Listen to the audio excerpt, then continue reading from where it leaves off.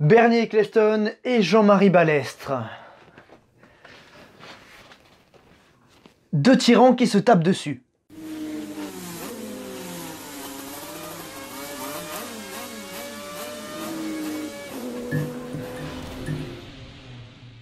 On se retrouve pour le troisième épisode du conflit FISA-FOCA. C'est un des événements les plus marquants de l'histoire de cette catégorie, car c'est durant cette période que la Formule 1 est passée d'un club d'organisateurs européens non lucratifs à l'une des marques les plus rentables au monde. Nous nous sommes arrêtés juste après la trêve faite entre la FISA et la FOCA d'après le boycott du Grand Prix d'Espagne. Mais vous allez voir qu'une trêve n'est pas synonyme de paix, le conflit n'est pas terminé. Évidemment, j'invite tous ceux qui n'ont pas vu les deux premiers épisodes à aller les voir afin de bien comprendre le contexte. Quant à nous, le troisième épisode du conflit FISA-FOCA, c'est maintenant. C'est parti.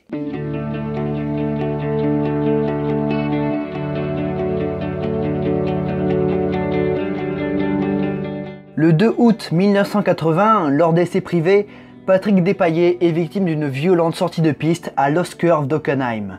Dans un état pitoyable, le Français succombe à ses blessures. Même si l'on ne connaît pas les causes exactes de l'accident, il est très probable qu'une jupe ait été défaillante. Ce qui sert la cause de Balestre car il va à tout prix interdire ces éléments aérodynamiques. Le GPDA tente de s'allier contre les jupes mais ne sont pas unanimes. Des pilotes comme Alan Jones se sont désolidarisés de l'association des pilotes. Il faut dire aussi qu'Alan Jones n'avait pas d'amis dans le paddock, il était relativement solitaire, presque à mépriser ses collègues. C'est l'un de mes passages préférés de l'histoire. La trêve déclarée au Castellet en juin afin de terminer convenablement la saison n'est pas synonyme de paix. La FOCA lutte encore et toujours contre l'interdiction des jupes aérodynamiques prévue le 1er janvier 1981. Les équipes indépendantes voient en ce concept le seul moyen de contrer les grandes firmes automobiles. De plus, les indépendants les plus riches seront bientôt équipés de moteurs turbo. La plus grande menace de Bernie, c'est de créer un championnat parallèle. Balestre sait très bien qu'il ne peut pas organiser un championnat du monde de Formule 1 sans toutes ses écuries indépendantes. Mais Bernie sait que s'il crée un championnat parallèle, il pourrait perdre beaucoup. Toutes les équipes ne voudraient pas le suivre, tout comme les sponsors ou les chaînes de télévision. Bernie a bâti son empire grâce à la renommée de la Formule 1. Partir ailleurs serait un risque énorme mais Bernie continue de menacer la FISA et la FIA d'un départ, surtout pour leur mettre la pression. Eccleston crédibilise son coup de bluff. Il obtient le soutien de Cosworth pour son championnat pirate. Mais il veut faire encore mieux. Il veut réussir à convaincre l'homme qu'il admire le plus au monde.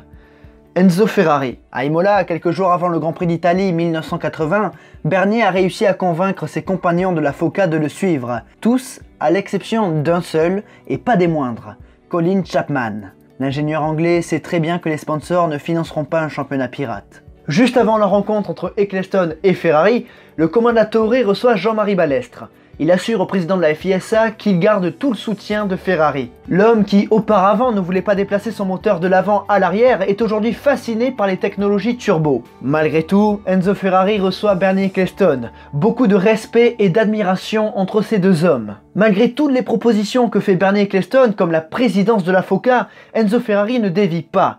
L'homme qui auparavant a permis à la FOCA de se débarrasser du WCR ne change cette fois-ci pas d'avis. Bernie est frustré d'avoir échoué dans les négociations avec Ferrari et Balestre en profite pour fanfaronner, affirmant par presse interposée qu'il compte reprendre le pouvoir financier de la Formule 1. Encore un cruel manque de tact de la part du président de la FISA qui jouera contre lui. Frank Williams menace à son tour de quitter la Formule 1 si les jupes sont interdites. Bernie tente alors de retourner l'opinion, avec des propositions techniques cherchant un compromis rédigé par la FOCA. Réduction de la puissance moteur, pneus rainurés, tout ça dans le but de garder les jupes aérodynamiques. Alors d'une part, les motoristes turbo refusent et d'autre part, les manufacturiers de pneus refusent. Ce n'est pas vraiment un échec pour Bernie car c'était un petit peu dans ses plans. Son but avec ses propositions n'était pas qu'elles soient acceptées, c'était de faire bouger la FISA et ça va marcher. La FISA s'y oppose catégoriquement, c'est ce que voulait Eccleston. Pour le coup, la FOCA accuse Jean-Marie Balestre d'abus de pouvoir. Ils saisissent la justice britannique. Mais la justice britannique n'a que faire de ces plaintes. Et oui, la FIA et la FISA sont des institutions françaises implantées en France. La justice britannique n'a donc aucun pouvoir là-dessus. Ouais, pour le coup, c'était pas la dernière chose à laquelle on pense. Hein. Bernie Cleston et la FOCA sont un petit peu ratés. En fin de saison, Balestre réunit la FISA à Paris et convie plusieurs fédérations automobiles, le but étant de s'assurer de leur soutien. Dorénavant, si certains circuits rejoignent Eccleston, ils seront désavoués par leurs fédérations respectives. En effet, dans les lois, une course automobile ne peut pas se tenir si la fédération nationale locale n'est pas là pour s'en occuper. Auquel cas, les circuits perdraient leur homologation et ce serait la ruine. Un sacré coup de balestre qui s'assure la loyauté de la plupart des pays visités par la Formule 1. Après, pas toutes les fédérations fonctionnent comme ça. Par exemple, au Royaume-Uni, c'est différent, mais Bernie ne peut pas se satisfaire de 3 ou 4 pays pour son championnat son projet perd en crédibilité. Balestre en remet une couche en fixant la date limite des inscriptions pour la saison suivante, donc 1981, à mi-novembre. La FOCA, elle, compte bien faire comme elle entend et n'en tient pas compte. Balestre s'y attendait, il prépare déjà le pire. Il a réuni suffisamment d'équipes pour s'assurer d'un championnat du monde de Formule 1. Le tout, évidemment, sans les écuries de la FOCA. Et puis, la FISA a eu la confirmation que la plupart des sponsors ne suivraient pas un championnat pirate. On se dirige vers une victoire totale de Jean-Marie Balestre, mais le français sait qu'il faut laisser un petit peu de mou à Eccleston. En contrepartie, il laisse le pouvoir économique à la FOCA, ce qui était quand même la base de leurs revendications. Hein. Tout ça pour ça. C'est vraiment un petit peu ridicule.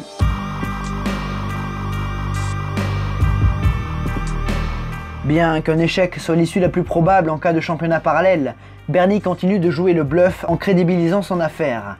Ainsi, il crée une nouvelle fédération, la World Federation of Motorsport. Il annonce ensuite son championnat des pilotes 1981 ainsi que les engagés du championnat. Parmi eux, on retrouve Brabham, Williams, McLaren, Tyrrell, Ligier, ATS, Arrows, Ram, Ensign et Fittipaldi.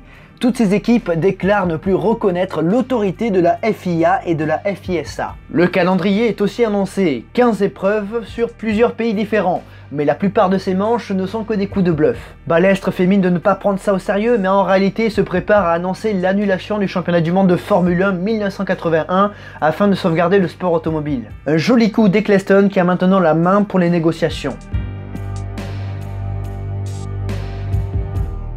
Bernie continue son coup de poker. Même si durant l'hiver il perd Ligier, qui par intérêt se range du côté de la FISA, Bernie prépare la première course de Formule 1 pirate. Il va même encore plus loin. Lors d'une réunion entre Eccleston et Balestre à l'initiative de Marlboro, le plus gros sponsor de la F1, l'anglais présente aux Français l'incapacité de la FISA à agir sur les contrats faits entre la FOCA et les circuits. Cela a été jugé par le tribunal britannique. Et ouais, la FOCA c'est une institution britannique, une association britannique donc les lois britanniques s'y appliquent. La Formule 1 est alors au bord de l'implosion. Mais dans une période très sombre, une lueur d'espoir apparaît. Les deux parties trouvent un terrain d'entente. Le pouvoir sportif, c'est la FIA et la FISA, et le pouvoir économique, c'est la FOCA. Tout ça pour ça. Mais attention, ce n'est pas un accord, c'est une entente. Ce qui voudrait dire que les jupes aérodynamiques seraient toujours interdites pour la saison suivante.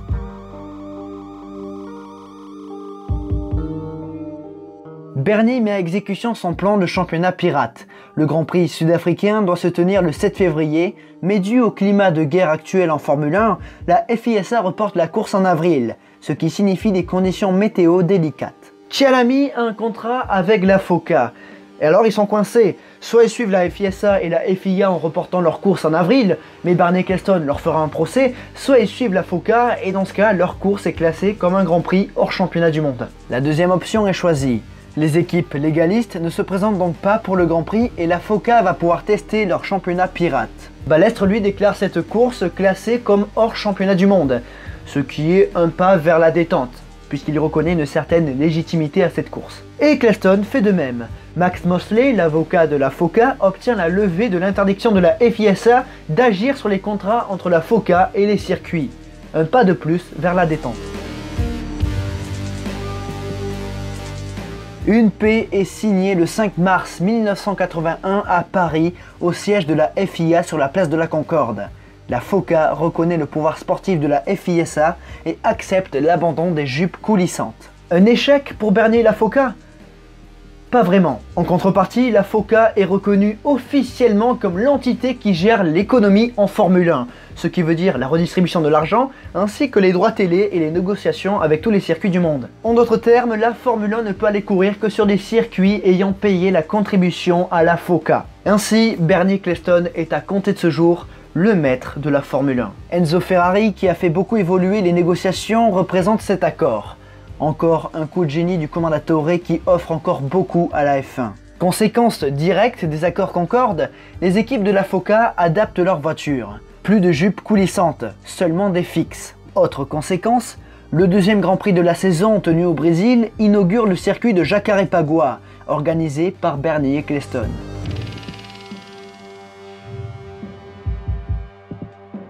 Lors du Grand Prix de Belgique 1981, deux accidents impliquant des mécaniciens ont eu lieu. Un premier durant les essais où Reutemann percute un mécanicien d'Ozella et un autre au départ suite à la précipitation. Bernie Cleston est en partie responsable car son insistance à lancer le départ de la course a amené à un grave accident. Mais afin de ne pas relancer le conflit, la FISA fait profil bas, ce qui indigne les pilotes car ils se plaignent de n'être jamais écoutés. Cela pourrait relancer les débats et le conflit. En 1981 se tient une nouvelle élection pour la présidence de la FISA, mais aussi de la FIA. Balestre se porte candidat à sa succession face à un homme de main de la FOCA. Mais la paix signée entre ces deux entités est trop précieuse. Eccleston soutiendra Balestre, préférant le statu quo. Balestre est réélu et peut poursuivre sa mission, car oui, le conflit n'est pas terminé. De plus, Jean-Marie devient le président délégué de Paul-Alphonse von Metternich, le président de la FIA qui vient lui aussi d'être réélu.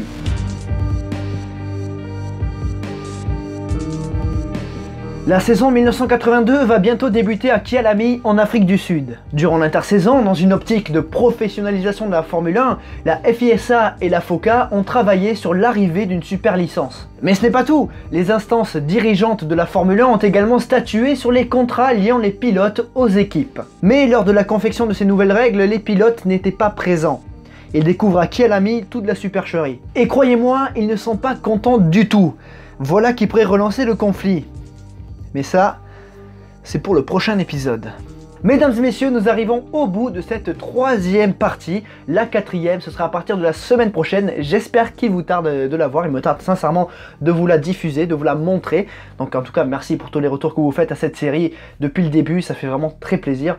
Vraiment, c'est cool. J'ai passé beaucoup de temps et ça fait plaisir de voir que le travail que j'ai fourni est reconnu. Donc merci à tous. N'oubliez pas, si vous avez aimé, likez, commentez, partagez, tout ça. De toute façon, je vous le dis juste après. Mais en attendant, sur le côté gauche de l'écran, les logos des réseaux sociaux, Instagram, Facebook, Discord, Utip. Euh, ceux qui ont fait des dons sur Utip ou quand acheté des produits sur le shop, le circuit, vont dans en bas de l'écran. Merci à vous. Il y a également le lien de la chaîne secondaire hein, en description. Allez-y, c'est vraiment peinard. Il y a quelques petits trucs sympas. Donc euh, voilà, c'est détente. Allez, allez faire un petit tour sur la chaîne secondaire, ça fera toujours plaisir. N'oubliez pas le commentaire, l'abonnement, le partage, la cloche et le pouce bleu. Mais surtout, n'oubliez jamais, le plus important, c'est de continuer d'aimer le sport auto, continuer d'aimer le conflit FISA FOCA. À la prochaine. Salut les fans.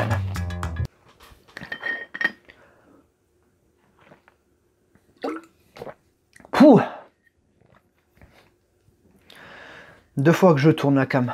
Deux fois que je tourne la face cam. Ah ouais, ben ce qui est rageant, c'est quand tu fais une heure de rush, à galérer, à ne plus avoir de voix, devoir jouer proprement, le mieux possible, tout ça, et que tu découvres, une fois au dérochage, donc quand tu sors les, fichiers sur l'ordi, que tu découvres que tout était flou, que la lumière était dégueulasse, que c'était pas utilisable, mais ça fait chier quoi. C'est ce qui m'est arrivé hier et j'ai pété les plombs. J'espère que celui-ci est bon à partir du principe que oui. Si vous le voyez, c'est que c'est bon. Donc, euh, des bisous.